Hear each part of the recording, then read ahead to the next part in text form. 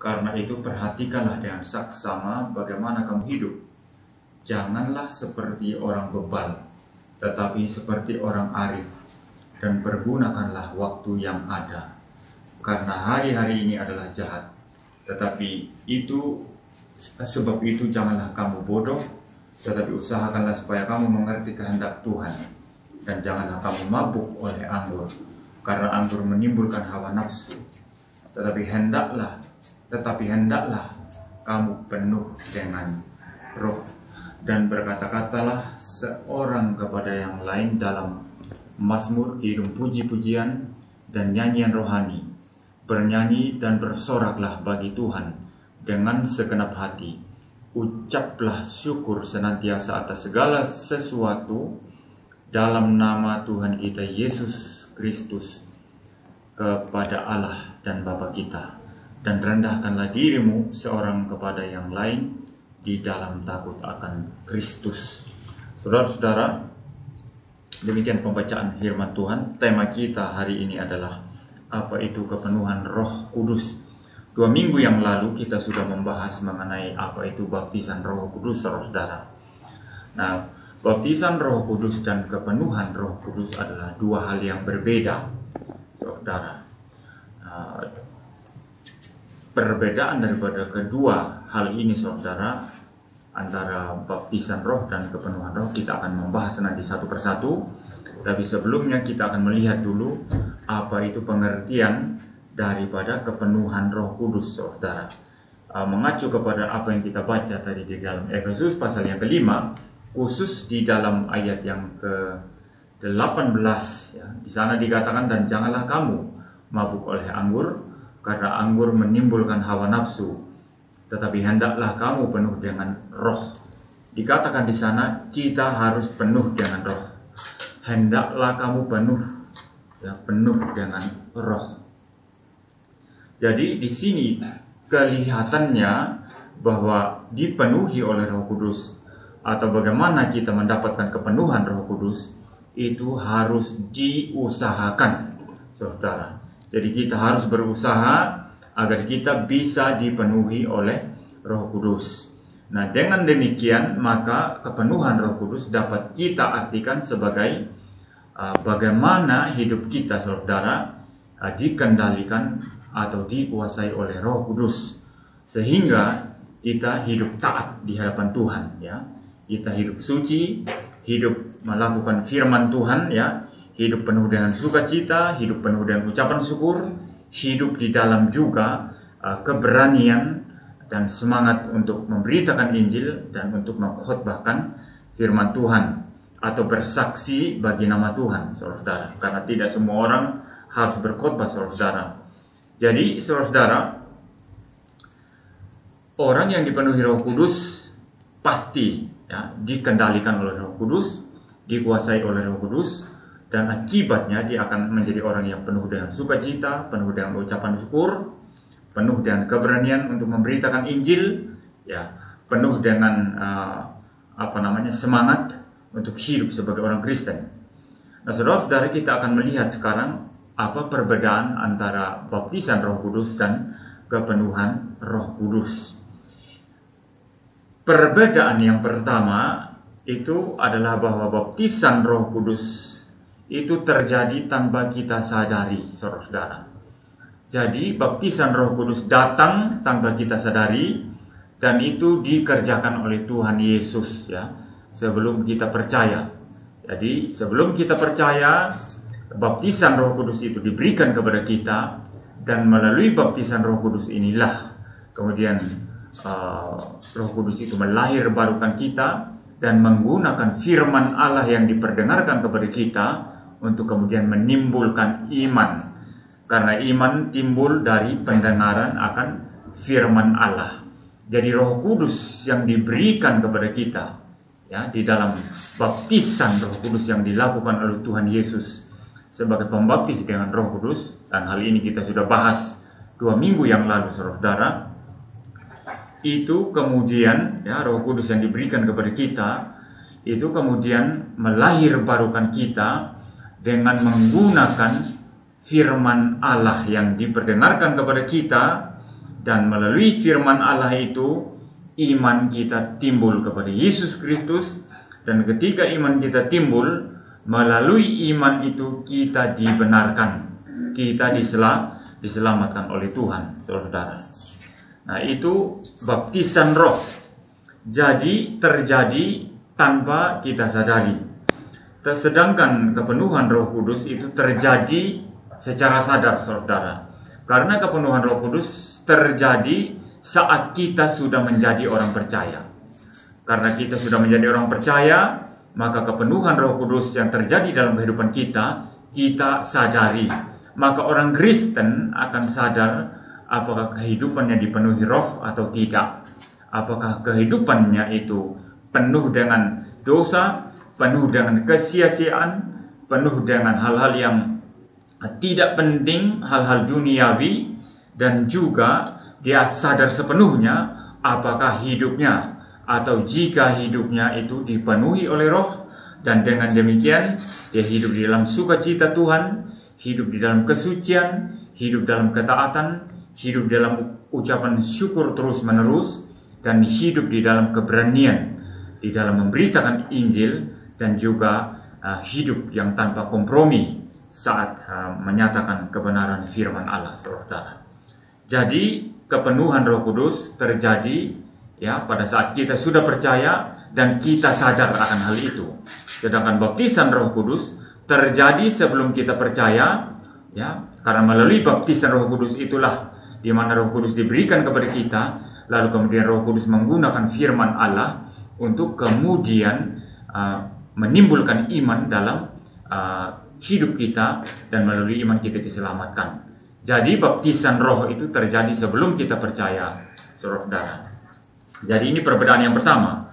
Perbedaan yang kedua, saudara, itu adalah bahwa baptisan roh kudus adalah pekerjaan daripada Tuhan Yesus semata dan tidak menuntut atau meminta respons apa pun dari kita, saudara. Saya sudah katakan di poin pertama tadi bahwa uh, baptisan Roh Kudus terjadi tanpa kita sadari sebelum kita percaya. Maka baptisan Roh Kudus itu adalah pekerjaan Tuhan Yesus tanpa melibatkan respons apa pun atau reaksi apa pun dari pihak kita manusia saudara. Sedangkan kepenuhan Roh Kudus itu adalah Tuhan ya bertindak ya memenuhi kita tetapi juga menuntut respons aktif dari kita. Tuhan tidak mungkin memenuhi orang yang hidup di dalam dosa, ya. Tuhan tidak mungkin memenuhi hidup orang, ya. Artinya Roh Kudus memenuhi hidup orang yang hidup di dalam kesia-siaan, yang hidup di dalam hal-hal yang uh, melawan Alkitab, ya, hidup di dalam dosa, hidup di dalam keduniawian, saudara. Jadi, saudara, hanya mereka yang taat kepada Tuhan yang boleh dipenuhi oleh Roh Kudus. Hanya mereka yang taat menjalankan firman Tuhan, mereka yang setia, mereka yang rela berkorban untuk melakukan pekerjaan-pekerjaan yang memuliakan Tuhan, hanya mereka lah yang boleh dipenuhi oleh Roh Kudus. Jadi, pada intinya dalam poin kedua ini, Uh, baptisan Roh Kudus itu dikerjakan oleh Tuhan Yesus Kristus sebagai sang pembaptis dengan Roh Kudus dan tidak melibatkan respons apa pun dari kita sedangkan kepenuhan Roh Kudus itu adalah anugerah Tuhan Allah yang memberikan kepenuhan Roh Kudus kepada kita tetapi kita juga dituntut ya untuk memberikan respons yang aktif. Artinya kita harus hidup taat kita harus hidup di bawah otoritas Tuhan hidup sesuai dengan firman Tuhan, barulah kepenuhan Roh Kudus itu terjadi di dalam kehidupan kita. Hal yang ketiga sekarang saudara, baptisan Roh Kudus itu terjadi satu kali untuk selama-lamanya. Jadi terjadi sekali untuk selama-lamanya. Uh, dua minggu yang lalu saya sudah membahas mengenai dua macam aspek baptisan Roh Kudus. Pertama secara status ya, secara legal ya. Itu secara de jure ya saudara itu sudah terjadi pada saat Pentakosta di mana Roh Kudus dicurahkan dan gereja dari segala segala abad ya segala zaman dan segala tempat itu dibaptiskan di dalam Pentakosta saudara dibaptiskan dengan Roh Kudus tetapi secara praktis ya ya secara de facto-nya bagaimana kita menerima baptisan itu itu terjadi nanti ketika kita sudah hidup ya. Ketika Tuhan Yesus Kristus mengirimkan Roh Kudus kepada kita yang melahir barukan kita yang menggunakan firman Allah untuk menimbulkan iman sehingga kita menjadi percaya kepada Kristus pada saat itulah terjadi secara de facto ya secara faktanya ya secara faktual dalam kehidupan kita baptisan Roh Kudus itu saudara. Nah baptisan Roh Kudus itu saudara baik secara uh, hukumnya yang terjadi pada saat Pentakosta maupun yang terjadi secara faktanya dalam kehidupan kita masing-masing saudara itu terjadi hanya satu kali tidak bisa berulang-ulang. Dan pembaptisnya jelas Tuhan Yesus Kristus. Ya, dua minggu yang lalu saya sudah tegaskan bahwa pendeta tidak mempunyai hak untuk membaptis orang dengan roh kudus. Pendeta yang membaptis orang Kristen ya dengan roh kudus lalu orang berjatuhan atau menimbulkan semacam gejala bermacam-macam gejala-gejala atau fenomena-fenomena yang dianggap sebagai pekerjaan Roh Kudus itu pasti palsu. Nah, saudara-saudara, jika baptisan Roh Kudus terjadi sekali untuk selama-lamanya, maka kepenuhan Roh Kudus itu terjadi berulang-ulang di dalam kehidupan kita, saudara. Mungkin tidak ada orang Kristen ya yang setiap saat, setiap menit, setiap detik dipenuhi seterusnya oleh Roh Kudus, saudara. Ada kalanya kita lemah, ada kalanya kita memberontak terhadap Tuhan, ada kalanya kita jatuh dalam dosa-dosa tertentu, maka di dalam kondisi semacam ini tidak mungkin Roh Kudus memenuhi kita. Tetapi ada kalanya kita hidup mau memuliakan Tuhan, kita hidup taat, kita rajin berdoa, rajin membaca Alkitab, rajin melayani dan penuh semangat, tidak mengkompromikan kebenaran. Pada saat itulah Roh Kudus memenuhi hidup kita, saudara. Ketika seorang hamba Tuhan berkhotbah saja, saudara, itu tidak harus dia dipenuhi oleh Roh Kudus, saudara. Dan masih bisa saja dia ber, uh, berkhotbah dengan baik, saudara, karena memang dia sudah terbiasa berkhotbah, saudara. Nanti kita akan bahas lebih dalam mengenai hal ini, saudara. Nah, seorang hamba Tuhan bisa saja saya katakan tadi berkhotbah dengan baik, walaupun tidak dipenuhi oleh Roh oleh Roh Kudus, saudara. Tetapi memang alangkah baiknya setiap uh, hamba Tuhan yang berkhotbah itu dia berkhotbah di dalam kepenuhan Roh Kudus saudara. Nah, saudara-saudara, kepenuhan Roh Kudus ini tidak setiap saat kita alami, itu bisa terjadi berulang-ulang, saudara. Ada kalanya kita tidak dipenuhi, ada kalanya kita dipenuhi, saudara. Jadi sering tidak dipenuhi, sering juga dipenuhi, saudara. Dan itu sangat bergantung juga bukan saja pada anugerah Allah yang 100% yang terus mau memenuhi kita dengan Roh Kudus, tetapi juga dengan respons aktif kita untuk mau dipenuhi, untuk mau hidup taat. Ketika kita tidak taat, di saat itulah Roh Kudus tidak memenuhi kita, saudara. Jadi itu yang ketiga, saudara. Sekarang yang keempat, uh, baptisan Roh Kudus, saudara, itu menyebabkan ya uh, orang yang tadi mati secara rohani yang tidak percaya kepada Tuhan Yesus itu menjadi percaya. Saudara, saya sudah jelaskan tadi bagaimana Tuhan Yesus mengirimkan Roh Kudus kepada hidup eh, di dalam kehidupan kita masing-masing. Lalu kemudian Roh Kudus itulah yang melahirkan kita, membenihkan, uh, memberikan benih hidup rohani. Lalu kemudian juga menggunakan firman Allah untuk menimbulkan iman, ya di dalam kehidupan kita sehingga kita menjadi percaya kepada Tuhan Yesus, saudara. Dan oleh karena itu, saudara, maka akibat daripada baptisan Roh Kudus itu adalah bahwa orang yang belum percaya menjadi percaya. Sedangkan akibat daripada kepenuhan Roh Kudus itu adalah bahwa orang itu menjadi hidup suci, mulutnya penuh dengan ucapan syukur ya. Kalau kita membaca tadi di dalam uh, Efesus dikatakan di sana Saudara ya. Saya akan membaca dari ayatnya yang ke uh, 19 dikatakan di sana dan janganlah oh, ayat yang ke 18 ya dan janganlah kamu mabuk oleh anggur karena anggur menimbulkan hawa nafsu tetapi hendaklah kamu penuh dengan roh dan berkata-katalah seorang kepada yang lain di dalam mazmur, kidung puji-pujian dan nyanyian rohani, bernyanyi dan bersoraklah bagi Tuhan dengan segenap hati. Ucapkanlah syukur senantiasa atas segala sesuatu dalam nama Tuhan kita Yesus Kristus dan seterusnya. Jadi orang yang dipenuhi Roh Kudus itu akibatnya adalah dia dipenuhi sukacita Tuhan, mulutnya penuh dengan ucapan syukur ya, dia mempunyai keberanian untuk memberitakan Injil, hidupnya menjadi suci dan lain sebagainya Saudara.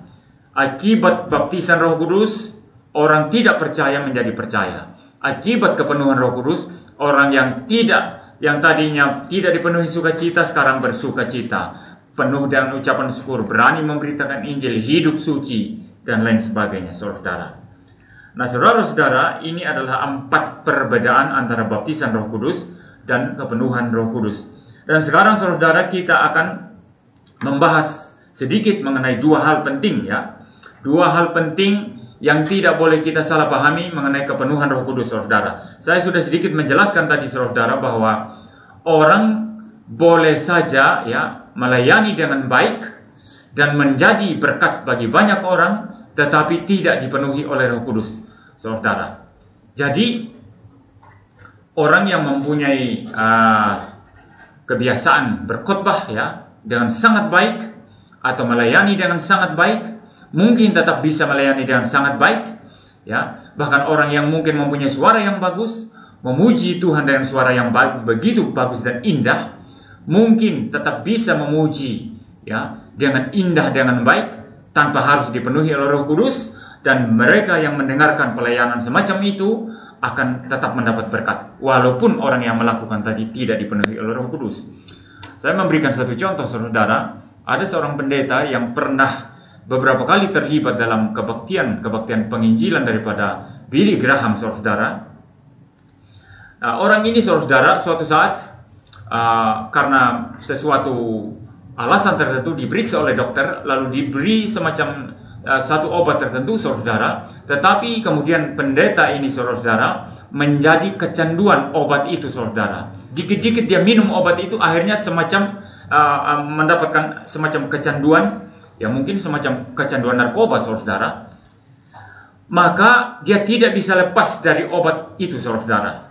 Tapi sementara itu, sementara kecanduan yang bermasalah ini ya, kecanduan yang berdosa ini saudara, uh, terhadap satu obat tertentu tadi saudara, dia tetap masih bisa khotbah dan jemaat-jemaatnya berkata kami masih tetap dapat berkat saudara, masih tetap ikut aktif ya, beberapa kali di dalam kebaktian-kebaktian penginjilan daripada Billy Graham di mana juga dia ikut melayani saudara.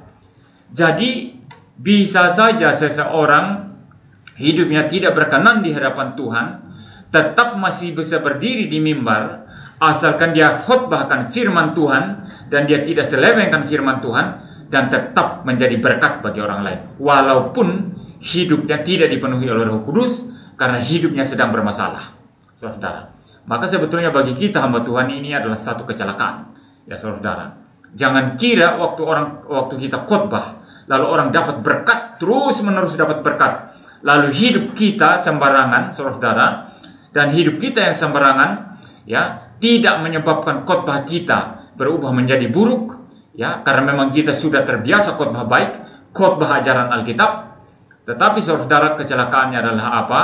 Kita sedang bermasalah dan tidak dipenuhi oleh Roh Kudus dan kita sedang mengecewakan bahkan menyakiti hati daripada Tuhan dan pada saatnya nanti mungkin kita akan menerima disiplin daripada Tuhan, saudara. Jadi harus dibedakan dengan jelas, saudara, bahwa tidak setiap orang yang khotbah bagus, melayani dengan bagus, memberikan nasihat kepada orang lain dengan bagus, menyanyi di gereja dengan bagus, pasti dipenuhi oleh Roh oleh Roh Kudus, saudara. Ini hal yang pertama yang kita tidak boleh salah, paham, uh, salah pahami. Hal yang kedua, saudara, itu mengenai kaitan antara kepenuhan Roh Kudus dengan karunia-karunia Roh Kudus atau karunia-karunia rohani. Ya, ada bernubuat, ada yang mengajar, ya, ada yang memberikan uh, pimpinan atau memimpin, menasihati dan lain sebagainya, saudara. Nah, saudara-saudara, seseorang yang mempunyai karunia rohani tertentu, misalnya mengajar, dia begitu pintar mengajar, begitu hebat mengajar, karena memang dia mempunyai karunia roh mengajar, saudara. maka orang ini tetap saja setiap tampil mengajar akan tetap bagus. Walaupun mungkin dia sedang bermasalah, walaupun mungkin dia sedang jatuh dalam dosa tertentu. Dan pada saat dia sedang bermasalah atau jatuh dalam dosa tertentu, pasti Roh Kudus tidak memenuhi dia, saudara. Maka saudara-saudara, jadi uh, artinya orang yang mempraktekkan karunia rohani tetap masih bisa praktekkan karunia itu dan begitu baik begitu hebat di hadapan orang lain, walaupun dia tidak dipenuhi oleh Roh Kudus. Jadi tidak setiap orang yang mengajar hebat karena mempunyai karunia mengajar, ya orang khotbah hebat karena mempunyai karunia bernubuat atau khotbah dengan hebat, atau orang memberikan nasihat dengan baik sekali karena dia memang mempunyai karunia menasihati atau memberikan pelayanan atau apa saja karunia yang dia punya, dia lakukan itu ya dan begitu baik ya. Ya. Itu tidak berarti bahwa dia pasti dipenuhi oleh Roh oleh Roh Kudus Saudara. Itu bisa berjalan tetap selalu baik karena memang dia mempunyai karunia itu dan karunia yang diberikan kepada kita tidak ditarik kembali oleh Tuhan Allah. Maka seorang pengajar yang hebat tetap tetap mengajar dengan hebat walaupun mungkin dia jatuh dalam dosa tertentu saudara. Wah ini berbahaya sekali saudara. Maka dengan demikian ini peringatan keras bagi jemaat, bagi orang-orang Kristen, kita tidak boleh ditipu oleh penampilan karunia-karunia rohani yang hebat, ya. Kemudian kita menutupi segala sesuatu yang tidak beres, saudara. Dan kita menganggap buktinya dia melayani masih baik kok, khotbah masih baik, yang mana siapa orang masih baik, melakukan seluruh pelayanan masih baik, dia nyanyi suaranya masih begitu bagus, pasti dia dipenuhi Roh Kudus, pasti tidak ada masalah. Ini salah saudara, ya. Bisa saja seseorang yang berdosa, eh, maksud saya seorang yang eh, sedang jatuh dalam dosa tertentu dan tidak dipenuhi oleh Roh Kudus, masih melakukan pelayanan dengan baik. Dan ini menjadi peringatan keras bagi kita semua, baik mereka yang mempraktekkan karunia-karunia rohani maupun kita yang uh, menjadi jemaat ya saudara yang boleh mendengarkan pengajaran, menerima pelayanan dan lain sebagainya saudara. Ini dua hal yang tidak boleh disalahpahami. Lalu yang berikut saudara ya sebagai tambahan mungkin saya perlu ya menjelaskan mengenai dua ciri yang paling menonjol daripada orang yang kepenuhan Roh Kudus. Saya menyebut banyak tadi hati dipenuhi sukacita, mulut penuh dengan ucapan syukur ya, mempunyai semangat, berani memberitakan Injil, tidak kompromi ya, taat kepada Tuhan, tunduk kepada otoritas Tuhan dan lain sebagainya Saudara. Tetapi ada dua ciri yang paling penting ya daripada uh, orang yang dipenuhi oleh Roh Kudus Saudara dan ciri ini pasti ya uh, kalau kita melihat ciri itu dari seseorang tertentu maka kita yakin ini pasti berasal dari Tuhan dan itu pasti betul-betul kepenuhan Roh Kudus dan tidak mungkin ditiru ya oleh setan, saudara. Apakah itu saudara? Yang pertama itu hidup suci. Kalau sukacita seseorang Kristen ya yang ditampilkan keluar belum tentu itu hasil daripada kepenuhan Roh Kudus. Bisa jadi itu sukacita yang palsu ya. Ada banyak orang Kristen di gereja teriak haleluya, puji Tuhan, senyum sana, senyum sini ya.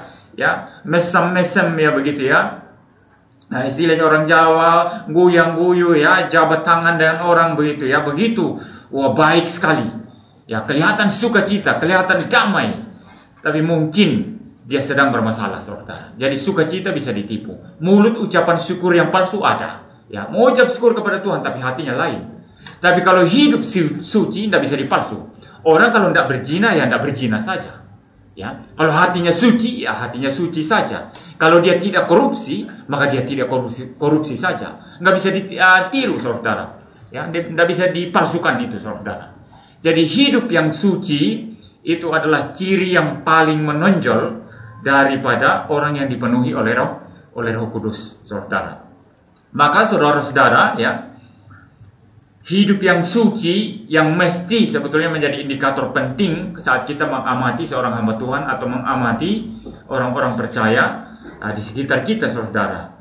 Dan uh, kalau dia terus di dalam uh, konsistensi ya uh, dalam kehidupan yang suci maka kita boleh katakan dia adalah orang yang dewasa imannya atau dewasa rohaninya.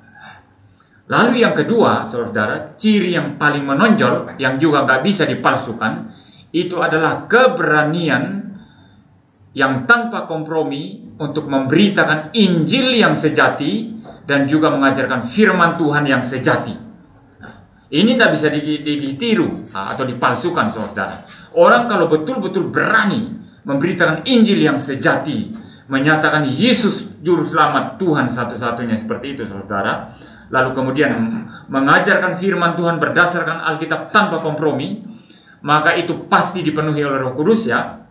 Nah, ciri sejati dari kepenuhan orang yang kepenuhan Roh Kudus dan saudara-saudara, hal ini tidak bisa dipalsukan, saudara. Maka dua hal ini yang uh, dua ciri ini yang perlu kita perhatikan, saudara, dan juga ini biarlah menjadi pelajaran penting bagi kita untuk kita boleh mengawasi, mengamati hidup kita sendiri. Jangan-jangan sukacita yang muncul uh, di permukaan dari kehidupan kita itu palsu. Jangan-jangan ucapan syukur kita palsu. Jangan-jangan ketika seorang istri menyambut suami palsu. Seorang suami sambut istri cium istri palsu. Bisa, saudara. Seorang pendeta mesem-mesem di gereja khotbah, wah seakan-akan murah senyum ya. Tapi sampai di rumah terhadap istri dan anak-anaknya seperti macan ya, seperti singa yang siap menerkam saudara. Maka saudara itu bisa dipalsukan semua. Itu semua bisa di uh, duplikat saudara. Tetapi kalau hidup suci tidak bisa dipalsukan. Orang hidup suci, ya hidup suci. Tidak hidup suci, hidup dalam dosa, ya hidup dalam dosa. Saudara, either or ya saudara ya. Tidak bisa campur baur antara keduanya. Sama juga dengan orang yang berani tanpa kompromi beritakan Injil, tanpa kompromi berani menyatakan kebenaran Alkitab doktrin yang sejati, ini juga tidak bisa dipalsukan. Orang benar dalam memberitakan Injil dengan berani tanpa kompromi, maka dia benar, berani tanpa kompromi saja, ya tidak bisa dicampur dengan ketakutan, ya, ketidakberanian, saudara. Jadi, saudara, dua ciri ini yang perlu menjadi perhatian kita, sehingga dengan demikian kita boleh mengoreksi hidup kita, ya. Apakah kita sudah dipenuhi oleh Roh Kudus atau tidak? Jika belum dipenuhi, maka kita usahakan taat kepada Tuhan, rajin membaca Alkitab, rajin berdoa, ya. Melakukan setiap pelayanan dan sungguh-sungguh dan dengan demikian kita dipenuhi oleh Roh Kudus secara terus menerus saudara. Jika kita jatuh dalam dosa, cepat-cepat bertobat, cepat-cepat bertobat dan minta ampun kepada Tuhan. Ya, kalau kita sudah melakukan kesalahan, cepat-cepat sadar dan kita boleh bertobat. Dengan demikian, maka Roh Kudus kembali memenuhi kehidupan kita sehingga kehidupan Kristen kita menjadi kehidupan Kristen yang berbuah lebat. Demikian uh, penyampaian materi yang saya bisa sampaikan. Mari kita berdoa.